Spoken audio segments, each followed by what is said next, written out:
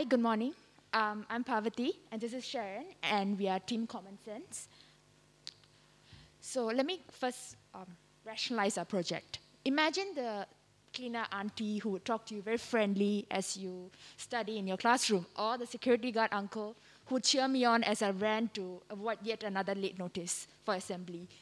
Imagine this group of people um, being verbally abused, castigated, looked upon merely on the basis of their profession, which is vital to society. And I'm not exaggerating. This is a very common occurrence, and this might be an issue that we are not really aware of. So as Parthi mentioned, um, you know, I think we are all um, aware to some extent of um, the discrimination that um, our underappreciated workers face on a daily basis in our society. And so key, the key pain points is that, um, you know, as mentioned earlier, there's the underappreciation of certain occupations. And this actually um, sometimes doesn't just, isn't just confined to disrespect, but the actual mistreatment of workers in these occupations. So um, to, you know, this is what our project, you know, aims to tackle, and this is our brief program overflow. So first we have an implicit association test, um, which is um, before the intervention, which I'll elaborate on soon. And then we have uh, a post-program survey and implicit association test. So, so first what we're doing is we're measuring um, participants' uh, implicit and explicit biases before our actual uh, program, our intervention, as we call it.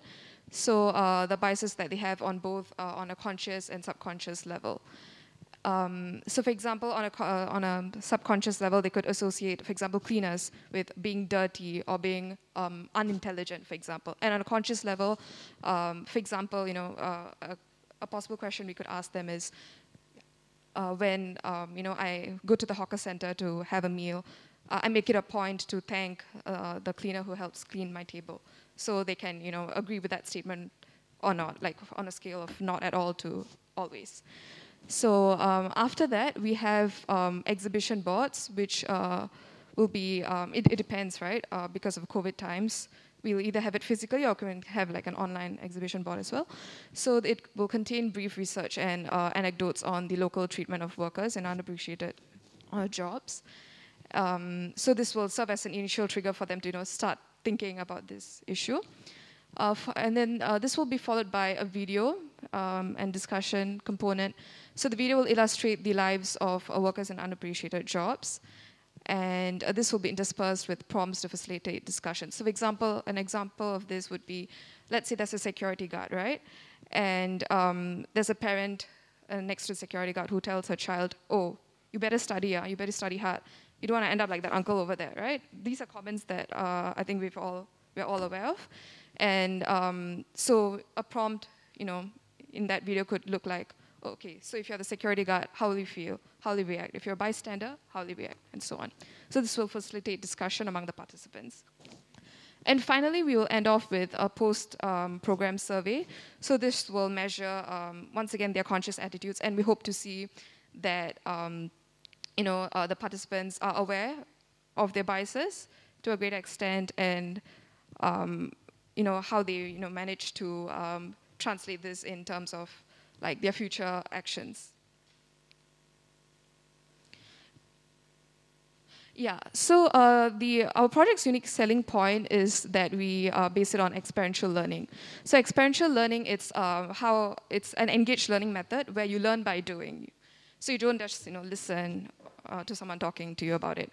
So there's four stages here: concrete experience, concrete experience, reflective observation, abstract conceptualization, and active experimentation. Uh, due to um, uh, time, uh, you can ask us about this in greater detail in the Q&A section.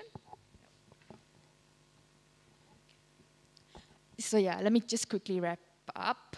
Yeah, so our target audience is mainly students because we feel like they can attend this program in a structured way via schools. And how our project is different is that um, it's, we usually face uh, or have experienced awareness campaigns where we talk about the importance of uh, these workers, but we do not target the cognitive roots of our prejudice against um, these professions, which is what we aim to do via our project. And our deliverables are basically um, the videos, the exhibition boards, and we hope to um, roll out the project as soon as we can once we consult the relevant organizations. Thank you.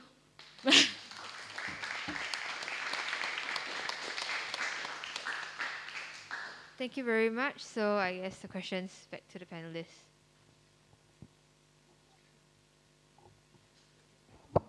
Greetings. Hi. Um, good, good, good stuff you shared. I think prejudice is always um, a challenge, right, in any multicultural um, societies. I am, and, and, I think going for the children is uh, in schools is going to be good. Um, what I would like to know a bit more is about. It, it seems like a, a, training. You know, you have implicit, your, your your assessments, and your intervention. Just to confirm, your assessment is contextualized to Singapore, right?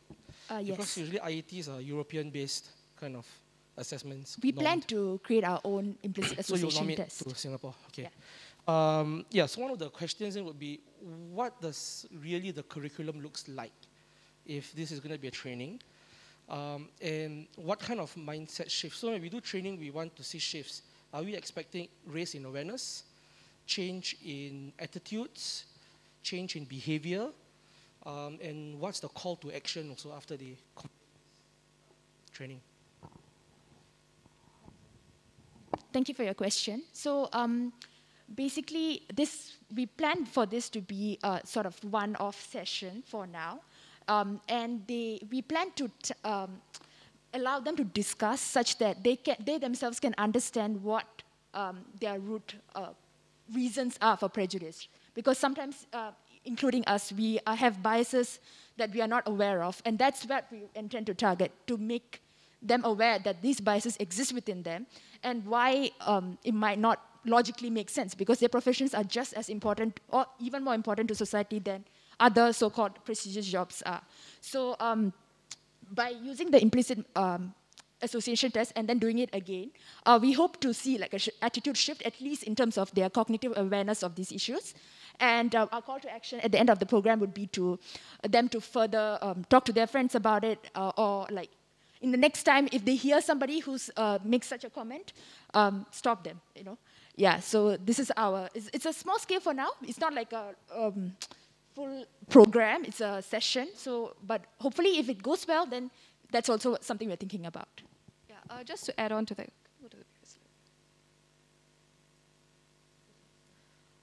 Um, so, you know, uh, we were talking about experiential learning, and actually the last part of it is uh, translated, uh, translation to concrete action, so active experimentation. So how this could look like is, you know, next time, you know, they're aware of how, like, you know, I was talking about the security guard just now. So how disrespectful, you know, such remarks are, for example. So they can make the conscious effort to not say stuff like that, or they can call out, um, you know, maybe like their friends or family, you know, if they say stuff like that. So, um, yeah, just to add on to what she said just now.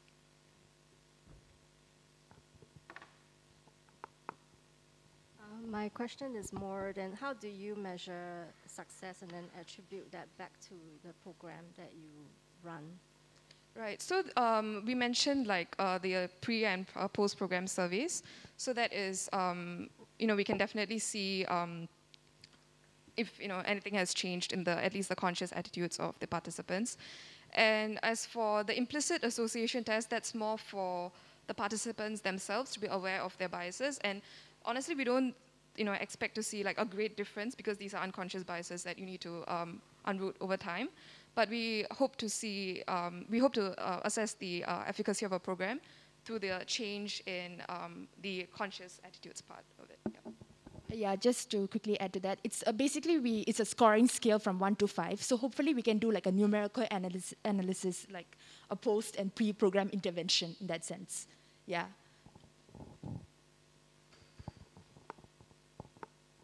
Yeah. just picking up from uh, you know, the, point made by Khairul as well as Jaslyn.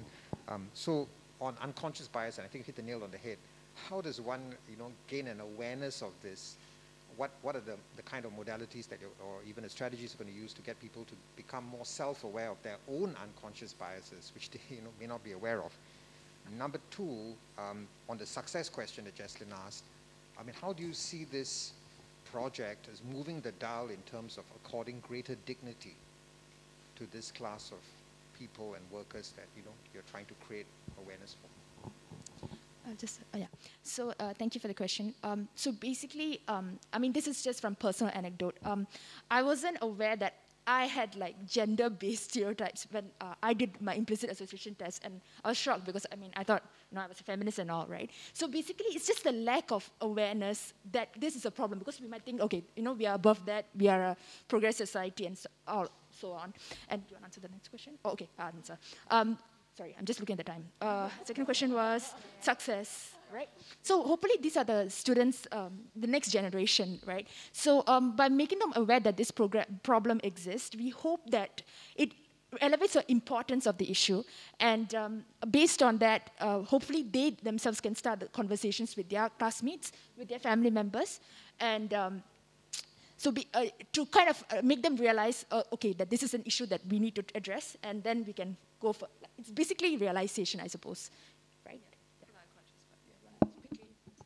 Yeah, and um, sorry, uh, could you repeat the second question? sorry.